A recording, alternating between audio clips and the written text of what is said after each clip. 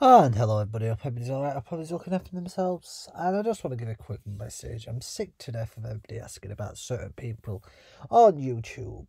It means you haven't got a life, you haven't got a brain, and you haven't and you can't possibly move on and forget about all the crap and just live your life and deal with your own things.